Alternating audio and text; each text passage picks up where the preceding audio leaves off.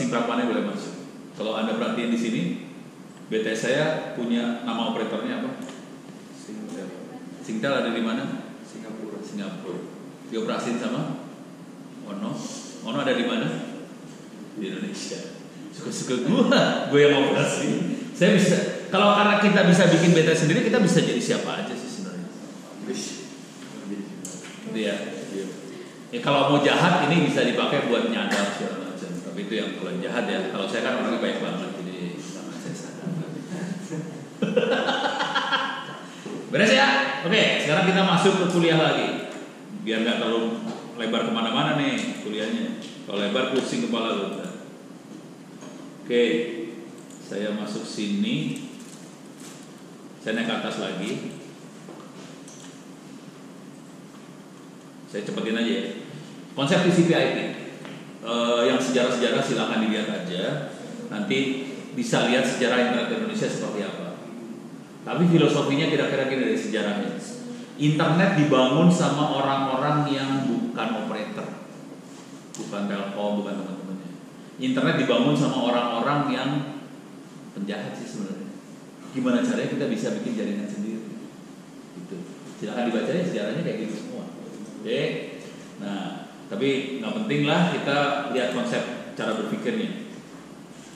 Jadi cara berpikirnya internet itu dibikin modular, bikin lapisan-lapisan. Oke.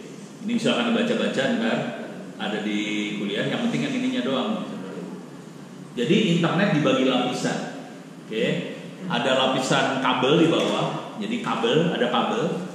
Terus ada protokol di atas kabel yang atur komunikasi dua komputer yang pakai kabel yang sama atau komunikasi dua komputer yang pakai radio yang sama. Oke. Dan ini yang ini tadi yang dikasih lihat tadi eh, yang PSK recorder ini nggak keluar nih. Ini coba 15 menit ya. Ini kan 12 jam yang lalu ya. Ini kita lihat 15 menit yang lalu. Saya nyambung ke mana aja kelihatan. Ini saya nyambung ke nih, ini ke India, ini ke Tibet, Xinjiang, Cina. Oke, ini saya pakai protokol, cuman bisa komunikasi dua komputer pakai radio yang sama. Itu namanya ini. Yalah, kok nggak bisa? Eh, nggak bisa diklik.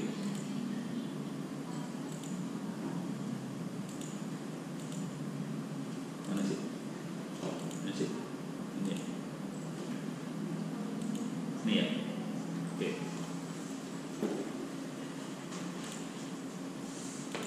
Oke. Ya.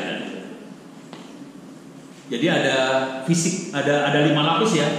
Physical layer, link layer, network layer, transport layer, application layer. Jadi nanti kalau lihat yang namanya protokol eh, bentuknya kayak gitu, ada physical layer itu yang secara fisik kita bisa pegang, namanya kabel, namanya radio, itu fisik. Oke. Kemudian ada link layer adalah protokol atau tata cara komunikasi yang ngatur dua komputer atau dua alat di lapisan fisik yang sama. Jadi dia pakai radio yang sama, channel yang sama, dia bisa ngomong satu sama lain. Nah tadi saya yang Charlie Zero Mike Charlie itu dia pakai link layer doang, atasnya nggak dipakai. Jadi saya pakai cuma dua lapis ini doang buat komunikasi internasional. Jadi kita biasanya ini bagian dari eksperimen dan teknologi yang dipakai itu adalah teknologi yang biasa kita pakai buat komunikasi ke Mars, ke ruang angkasa. Jadi dipindahin ke bumi. Makanya kita bisa jarak jauh. Sadis ya mainannya ya. Oke, eh, itu makanya link layer. Oke, itu ingat ya link layer harus pakai fisik yang sama, cuma dua yang komunikasi. Nah, gimana caranya supaya kita bisa banyak yang komunikasi? Kita mesti masuk ke dalam network layer.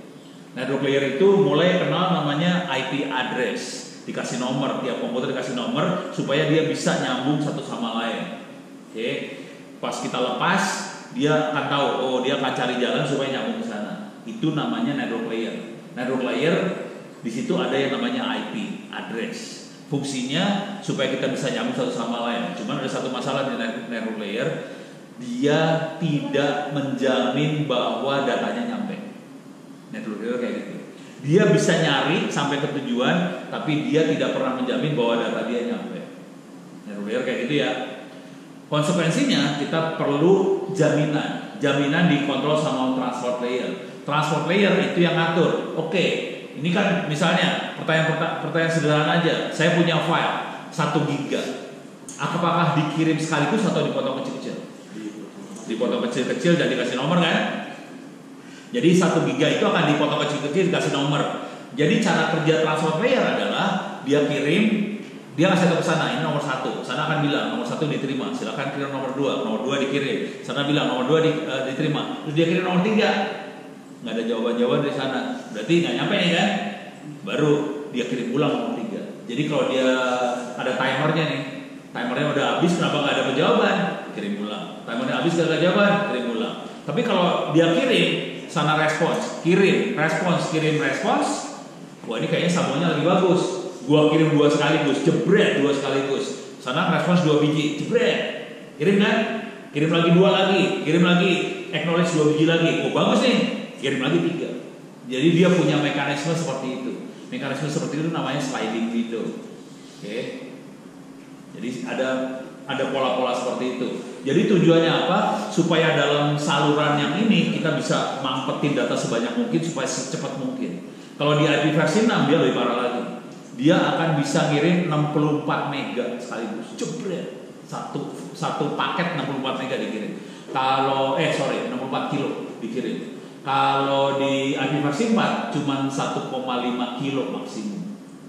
Gak bisa lebih. Kalau di versi 6 bisa lebih dahsyat dia bisa ngirim uh, paket gede banget supaya cepat proses komunikasinya karena sekarang wah, kan lapisan fisiknya berubah ya kita pakai fiber segala macam jadi ini mulai berubah transportnya oke jadi ada teknologi teknik-teknik seperti itu dikembangin semuanya terus ya nah setelah kita dapat jaminan bahwa data akan nyampe kita naik ke aplikasi di atasnya baru kita udah ada jaminan baru kita bisa kirim email baru kita bisa transfer file, baru bisa kita chatting, baru bisa nge-web segala macam. Itu kalau udah ada jaminan, jaminan bawahnya. Kalau bawahnya nggak ada jaminan, kita nggak akan bisa punya aplikasi di atasnya. Jadi ini cara berpikirnya kira-kira gitu. Terus ya.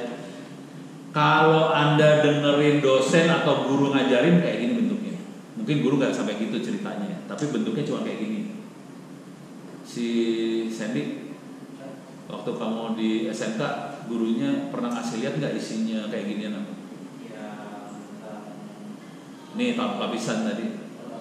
Ya, pernah kasih lihat isi protokol seperti apa? Belajar belajar sendiri. Nah, paksa belajar sendiri karena guru jarang ada yang ngajarin dalamnya protokol seperti apa. Untuk bisa ngerti dalamnya protokol, ini protokol cuma gitu aja. Nah, nanti protokol kayak gini ya. Saya gede Jadi kalau ada data, data mau kita kirim, uh, kita kasih transport protokol di depannya. Jadi sebenarnya data supaya bisa dikirim kita kasih protokol transport depannya. Protokol bentuknya 101 doang di depan itu.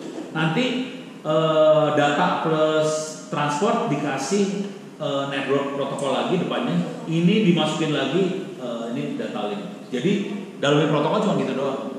Ini ditempelin ini, ditempelin ini, ditempelin ini. Ini bentuknya satu nol semua. Jadi satu nol satu nol satu nol. Oke, beres ya.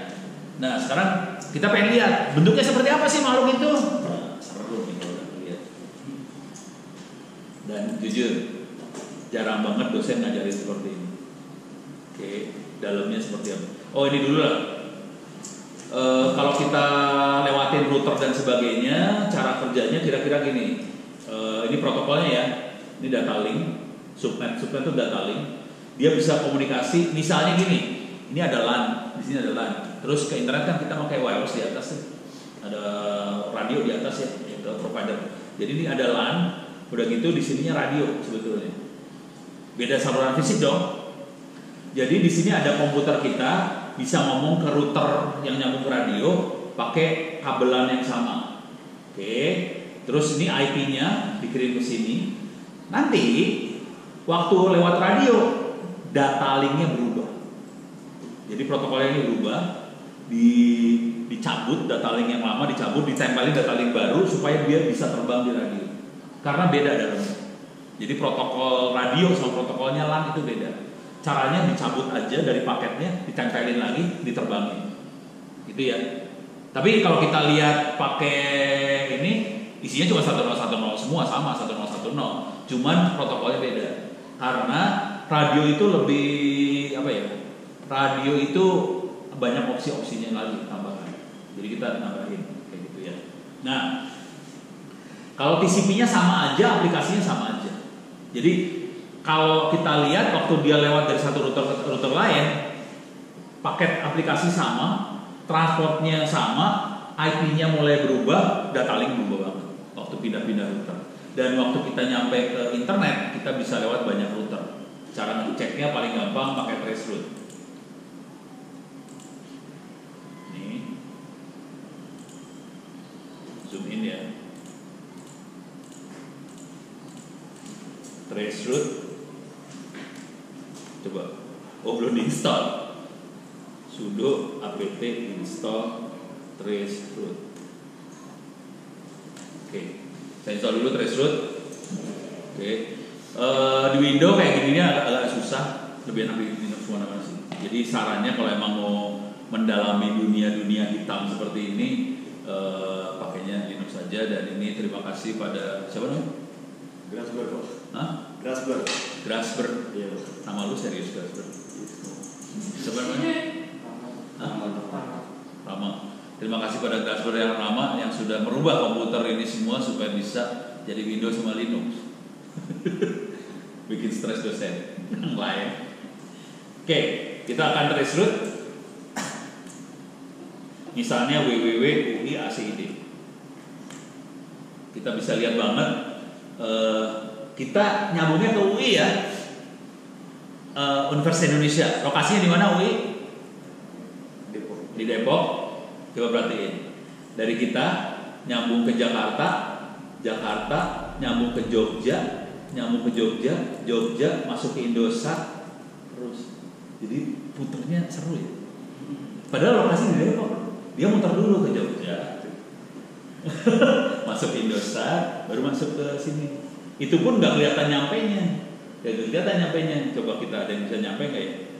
Eh, www misalnya apa ya? ITB jangan ITB lah detik lah. Detik.com jadi kalau nggak tetap aja lihat ini. Ini kan kita di Tangsel. Oke perhatiin dia masuk ke Jakarta dulu masuk ke Jogja masuk ke Jogja pindah ke detik connect ke detik. Detiknya di Jakarta detiknya ada di sini di kuningan sini jadi ke Jogja dulu kita. Seru ya? Jadi kita bisa ngeliat lewat mana kita jalur ini. Pakai tracer kelihatan. Beres ya? Oke. Tapi itu nggak penting. Ini ya cuma ngasih lihat aja bagaimana bahwa rute itu bisa putar oke karena TE Pak Hanafi, Pak Agung, Pak Nanang segala macam asal saya dari Jogja. Makanya dia sambungannya ke Jogja semua. Dia nggak punya sambungan dari sini langsung ke Jakarta nggak ada nih. Akibatnya muternya ke Jogja dulu. Jadi kalau mau lebih agak lebih ini punya sambungan ke Jakarta cuma narik kabel fiber lagi sendiri. Nah sekarang yang penting juga adalah uh, Wireshark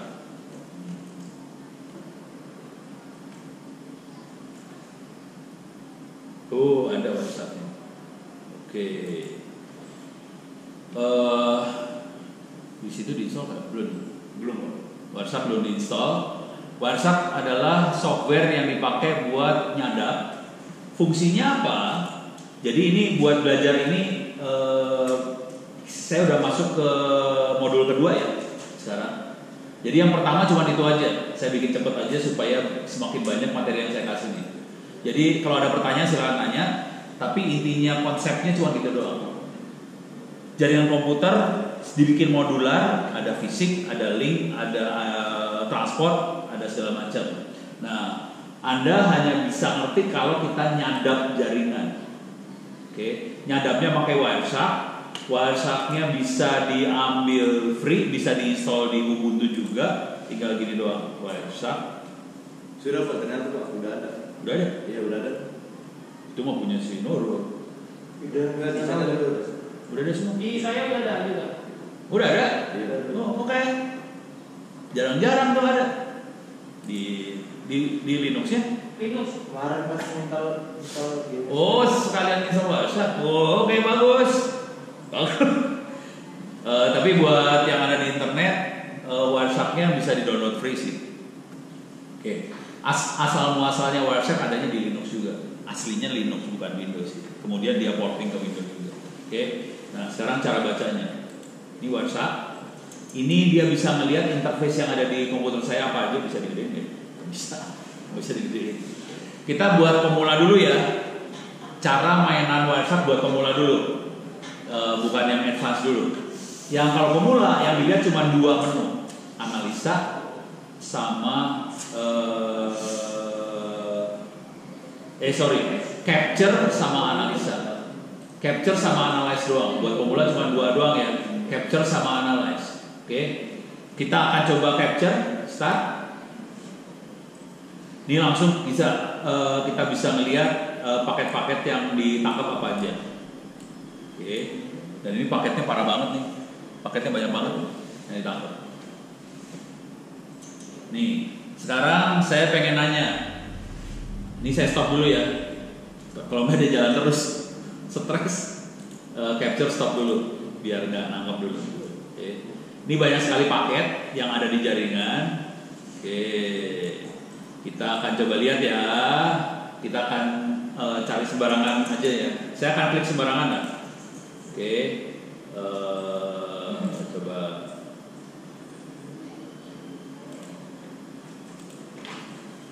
Ada yang lucu-lucu nggak ya? Saya klik sembarangan dulu ya.